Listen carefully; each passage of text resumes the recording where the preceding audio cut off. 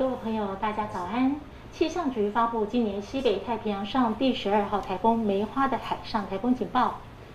中国台风梅花在早上八点的位置，已经来到鹅銮鼻东北东方大约三百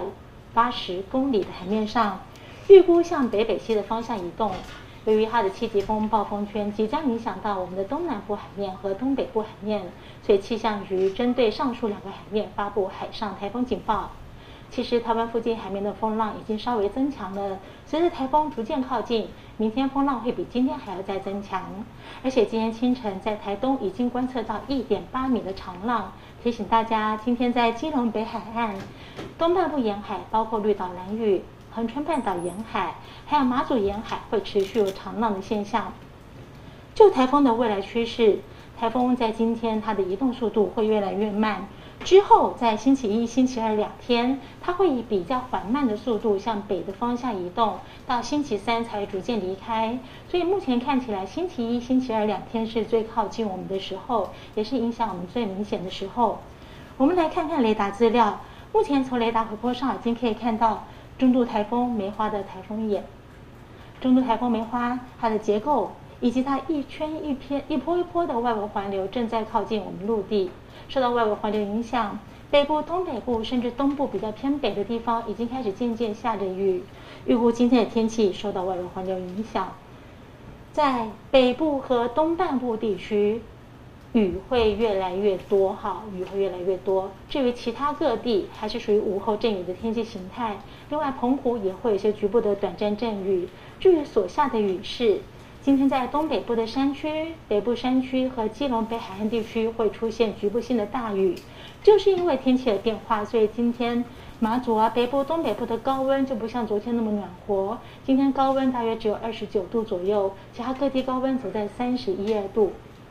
台风最靠近的星期一、星期二两天。北部、东北部的下雨时间更长，整天都会有阵雨，其他各地也都会云到的时候会下一些雨，不会只是午后阵雨的形态了。而所下的雨势，我们预估在北部、东北部地区和中部山区会出现局部性的大雨。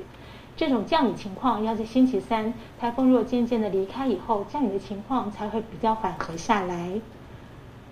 至于在风的方面，受到外围环流影响。台湾附近沿海有比较强的阵风，我们预估今天在宜兰、高雄以北地区，还有澎湖地区会有八到九级的强阵风。明天随着台风更为靠近，绿岛、兰屿、花莲以北、西半部沿海地区、马祖和澎湖也会出现八到九级的强阵风。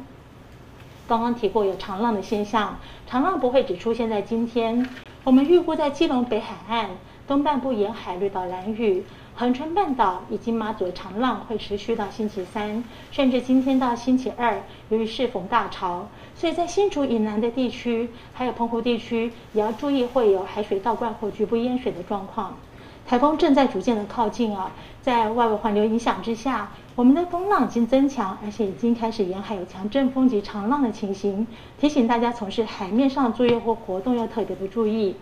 而北部、东北部的降雨，今天开始到明天会更为的增强，这边的朋友要特别留意。那台风今天逐渐靠近，星期一、星期二是影响我们最明显的时候，提醒大家从事任何活动要随时注意我们最新的台风预报。以上是今天早上最新的台风动态说明。